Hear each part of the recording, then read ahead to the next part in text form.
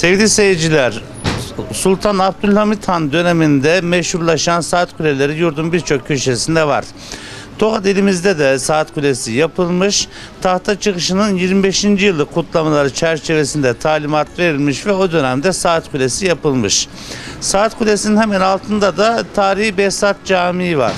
1536 yılında Hacı e, Behzat Veli tarafından yaptırılan e, cami şu anda yine dimdik ayakta duruyor. Çeşitli restorasyonlara tabi tutulmuş ama hizmet vermeye devam ediyor.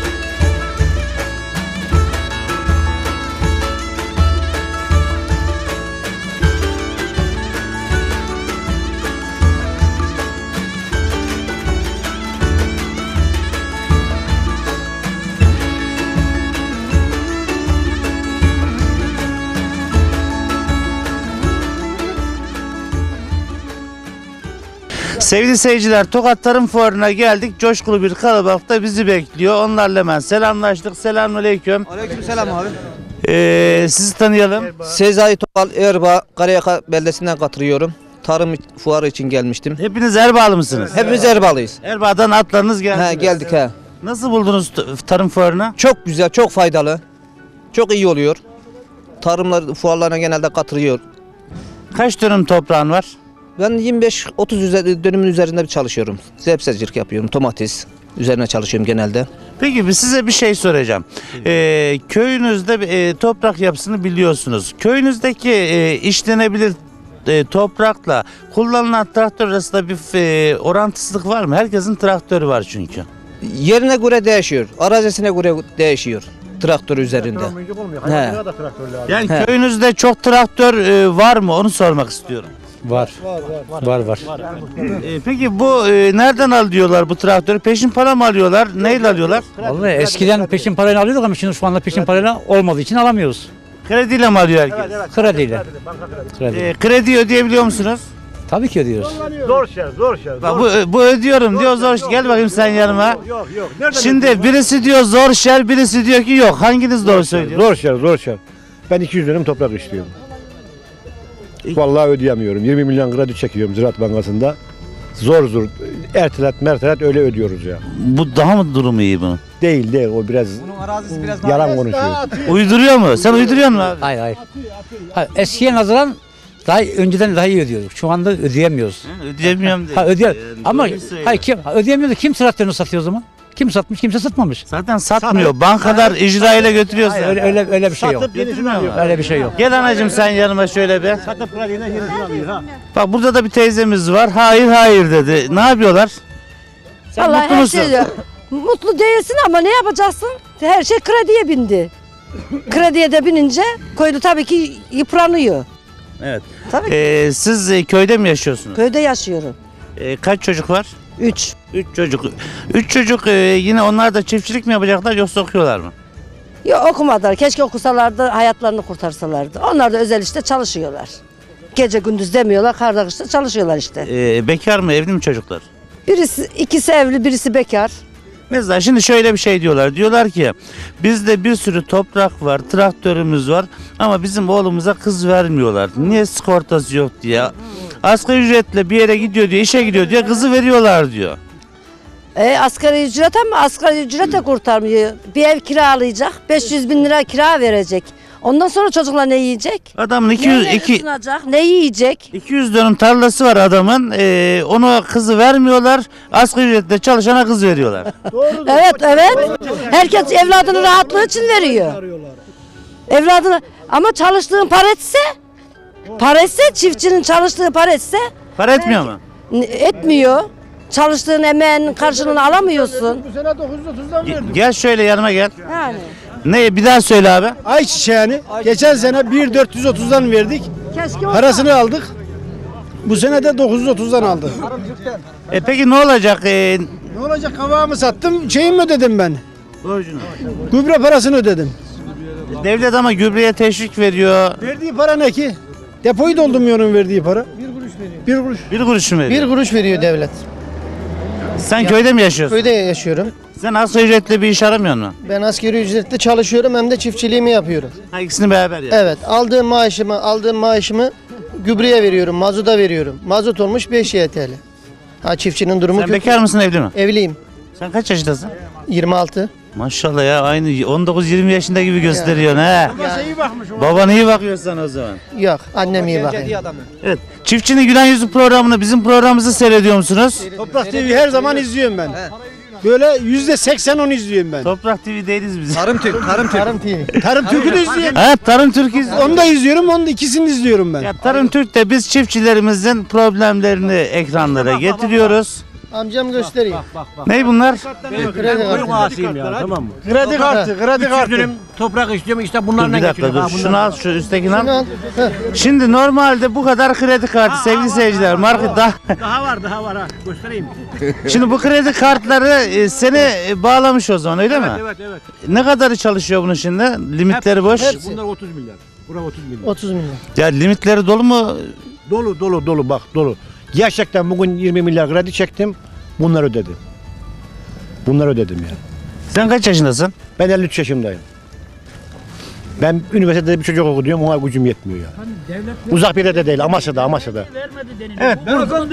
Buradan buradan buradan şimdi Beni dinle. Bakın. Ben köyde 15 sene muhtarlık yaptım. Evet. 20 sene yakında ziraat alanında yönetici yaptım. Bu bankaların faizi yüzde 45 idi ben muhtarken. Yüzde 45. Şimdi kaç biliyor mu? Yüzde 8. Devlet ne yapıyor? Kömüş desteği veriyor 600 bin lira. Koyun desteği veriyor 70 bin lira. Hayvan yem için ekiyorsun sana destek veriyor. Yonca ekiyorsun destek veriyor. Benim köyümde 10 sene evvel 20 motor vardı şimdi 200 araç var. şimdi 200 araç Bir var. dakika, Nerede dur. ya bu fakirler? ya dövecek gibi hareket Ha. etme ya. Bir dakika, dur. Nerede? Şimdi 200 araç var şimdi. Gerçekler şimdi Ha. var. Olan bir gerçekler vardır. Bakın önceden traktör alınırken. Bak şu tarım fuarına bak. Tarım fuarına. Bir sene- Git de bak. bir saniye. Durmuş amca. Bakın arkadaşlar daha önceden bu millet traktör alırken köyde Mehmet Ağa'nın Hasan Ağa'nın kaç dönüm tarlası var ondan Necettin kefillik alıyordu bankalardan. Şimdi istediği zaman ister herkes traktörünü alabilir. İmkanlar kolaylaştı ama imkanlar kolaylaştı derken de bunun yanında bize bu kolaylıklar zorluklar getiriyor. Evet ne oluyor biliyor musunuz? Şimdi ben- var olan bakın ben hayır hayır ben daha önceden ne diyecektim tek e, e, traktörle işimi görüyordum ama kardeşim olaraktan ben kardeşimden traktörümü alamıyorum. Evet doğru herkesin traktörü var. Pek buradaki şahıslara soruyorum. Bugün ne diyecektim 70 model traktör de aynı işi görüyor. Geliyor adam diyor ki ya şu traktör ne güzelmiş diye gidiyor onu alıyor. Tamam kolaylıklar var ama olmayan parayı kendi cebinden harcıyor di- direkt. Ha, şimdi Bu da ha şimdi olmayan parayı ha, tamam işte. olmayan parayı harcayamam. Yorgan. O arkadaşımız diyor ki kredi kartlarını gösteriyor. 200 dönüm 300 dönüm arazi işliyorum diyor. 200 dönüm. Bir kredi kartı da işini görebilir. limit limit yetmiyor ya. Limit geçmiyor değil. Hayır efendim. dolayı değil. Hayır Bizdeki efendim, sıkıntı şu. hayır. Ben de çiftçiyim Erbaa'da. Bizde genel manadaki sıkıntımız şu. 20 dönüm, 40 dönüm, 50 dönüm, 80 dönüm neyse bir arazi işliyoruz. Araziden çıkacak ürüne 6 ay önceden bir şeyler yapıp borçlanmaya gidiyoruz. Olmayan parayı harcıyoruz. Yani pancar parasını 10 yere borçlanıyorsun. Evet, ikisini ödüyorsun parayı. 8'i alıyorsun. Adamın toplam kapasitesi 20 milyar, 80 milyar borçlanmaya Sonuç gidiyor. ne olursa olsun. Türk milletinin hakiki efendisi köylüdür, çiftçidir. Evet. Efendiliğimi de- bunu herkes Efendiliğimi de alkışlaması lazım. Evet kuvvetli bir alkış alalım. Köylü milletin efendisidir sevgili seyirciler. Ama e, ef- efendi e, köylü de efendiliğini bilmeli. Halk da köylünün efendi olduğunu bilmeli. Biz birbirimize lazımız. 200 dönüm arazim vardı geçinemedim diyor. Bu adamın da 150 dönüm arazi bu nasıl geçiniyor sor bakayım. Onun takkesi güzelmiş ha. Kardeşim bak geçinemiyorsan araziyi azaltacaksın işlemeyi. Olmayanlara kiraya vereceksin. Gücün yettiği kadar, gücün yettiği kadar çalışacaksın. Evet, e, araba arabaları gidiyor sevgili seyirciler Erbağların. Biz de buradan Erbağlara sevgilerimizi, saygılarımızı sunuyoruz. Tokat Tarım Fuarı'na kaldığımız yerden devam ediyoruz. Tarım Türkiye teşekkür ediyoruz. Efendim, Hayırlı işler, görevlerinde başarılar. Erbaa Tamam, Sezai Topal ismi. Hayırlı işler abi. Hadi güle güle sağ ol. Hadi. Hayır, kolay gelsin. Sağ ol güle güle. Sevgili seyirciler, Tokat Tarım Fuarı'nda renkli bir simayla karşılaştık. Sizlerle de tanıştırmak istedik. Ee, sizi tanıyabilir miyiz? Teşekkür ederim efendim. Benim adım Necdet Engin. Ee, 23 yıldır e, Tokat'tayım. Ben aslen Vanlıyım. Burada bu tekstil firması çalıştığı dönemlerden beri buradayım. Ya 23 yıldır Tokat'ta yaşıyorsun. Tokatlı olmuş musun? Ben bir Tokatlı olmuş ama şu problem var. Van'a gittiğim zaman aha Tokatlı geldi. Tokat'a geldiğim zaman da aha Vanlı. Yani ortada kaldık. Buna bir çözüm bulsaydınız yani siz. Yani sana diyorlar ki ne Tokat kabul ediyor seni ne de Van kabul ediyor. Aynen öbür tarafta inşallah ahiret bizi kabul ederse ona şükrederiz. Ya öbür tarafta inşallah sen iyi bir yerde olursun da. İnşallah inşallah tahmin ediyorum inşallah öyle olur. Abi senin çok renkli bir kişiliğin var. Seni ben dünden beri takip ediyorum. Ee, sanki burada bir milletvekili gibi, belediye başkanı gibi herkes seni tanıyor. Bunu neden tanıyorlar seni? Vallahi şimdi şöyle onu ben de yeni yeni fark ediyorum. Onu hani diyorlar ya kamuoyu karar verecek diyorlar ya kendi aralarında. Bunu da ben şu an böyle şey diyorum e, Tokat sevdalısı halkın sevgilisi olarak yaşıyorum. Yani millet seviyor elhamdülillah sağ olsun teşekkür ederim Ya hepsine. Seni Tokat'ta tanımayan yok. Vallahi ufak olduğum için Tokat'ta ufak yer olduğu için rahat bulunuyor. Adres de belli. Buluyorlar, tanışıyoruz, tanıyorlar. Senin e, yıllar önce yapmış olduğun bazı e, mucitlikler var veya e, zekanı çok süper kullandığın hakkında rivayetler var.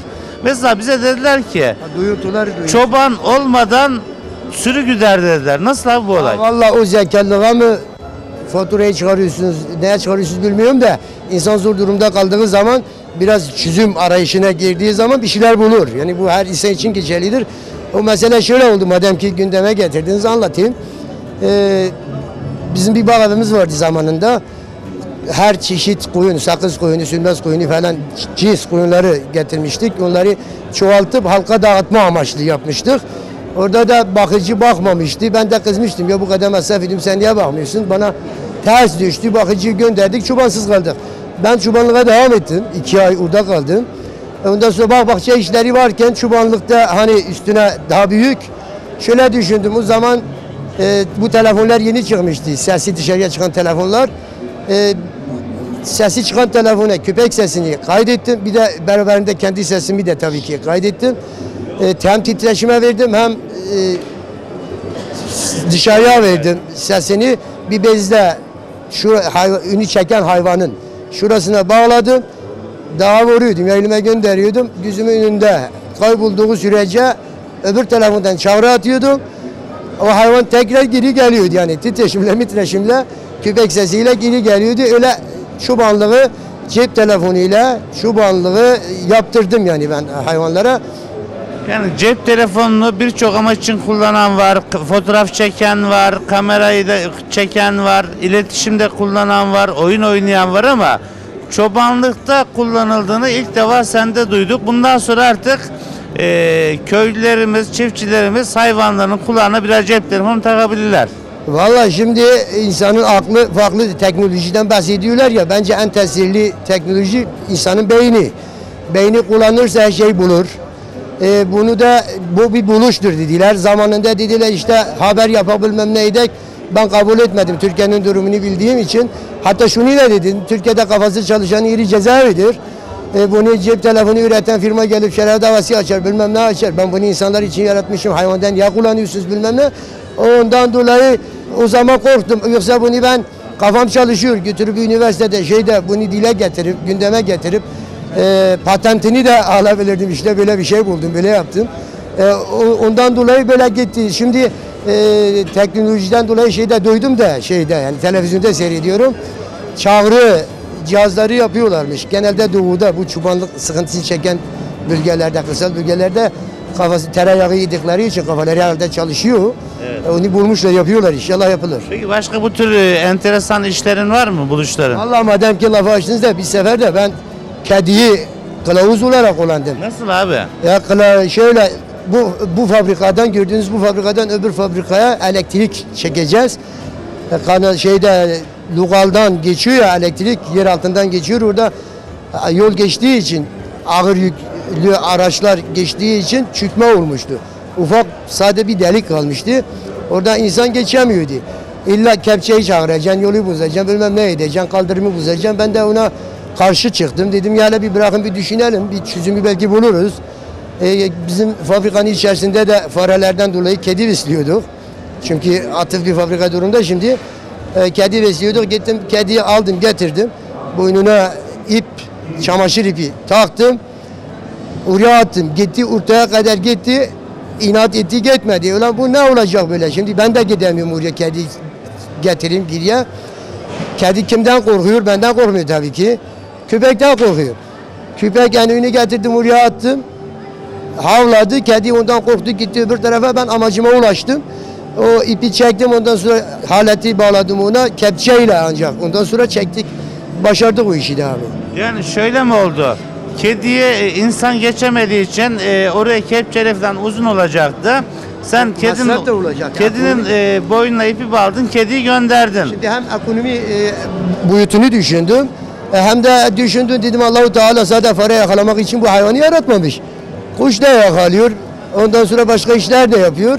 Bunu da belki çözeriz. Başardık, çözdük yani. Peki patronlar ne dedi bu duruma? Vallahi patronlar da hayret içerisinde kaldılar. Sevindiler bunu haber yapak bilmem neydi. Yine karşı koydum. E, niye karşı koydum bunu da? Hayvanseverler Derneği karşı çıkar ve sen bu hayvanı eziyet ettin. Ben eziyet etmedim. Ben ondan sonra bir de simitle ödüllendirdim kediyi. Evet. Yani yaptığı işin karşılığını ödemiş oldun ya. Aynen öyle yani şimdi kul hakkı diyorlar ya bir de hayvan hakkı geçmesin. Değil mi? Tabii. Yani at arabasında şimdi veya eşeğe yük yük diyorlar. Hay, insana e, hayvan hakları derneği bir şey diyemiyor, demiyor. Hatta şöyle çiviyle meviyle şey diyorlar kimse görmüyor onu bir şey ama benimki belki şey derler diyor. Seninki çok abi. Seninkinde problem yok. Yoktur inşallah olmaz da. Sen şiir de yazıyor musun abi? Vallahi bazen böyle erkar bastığı zaman türkü de söylerim.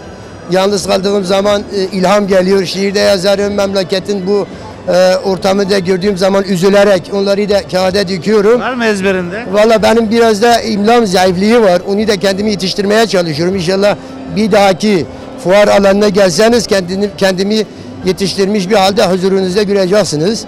Ee, ezberimde yok biliyorsun. Ama ezberinde olan bir şey var senin. Vallahi şu an yok. Yani Bir olsa- şey var onu söyleyeyim ne olsa- olduğunu. Olsa dükkan sizin. Ben söyleyeyim mi? Nedir? Sende güzel bir türkü var. Ya var da bu, bu soğuktan dolayı türkü mü çıkar? Çıkar. Vallahi Sen çıkmaz. ya. istersen çıkar.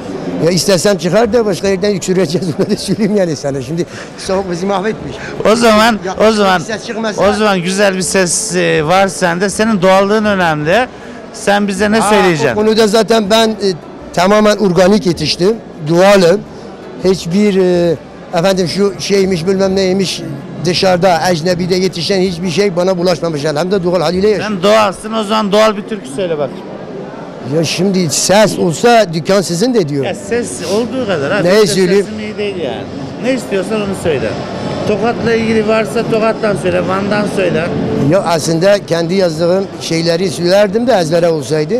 Neyse onu öbürkünde söylersin. Şimdi sen herkesin bildiğinden söyle. Gittikçe yaşlanıyor. En iyisi ben yaş destanı az bir şey de olsa söyleyeyim sizi kırmak. Hadi bak. Ama ses çıkmıyor çünkü iyi bağırmam lazımdır. Bağıralım Kusura abi. bakmayın. Estağfurullah abi ne demek? Aman bir güzel ki on yaşına girince gonca güldür henüz açılır. On birinde gonca deyip koklarlar, on ikide elma deyip saklarlar. On üçünde cevru cefa çekerler, on dördünde hamre şekere benzer. aman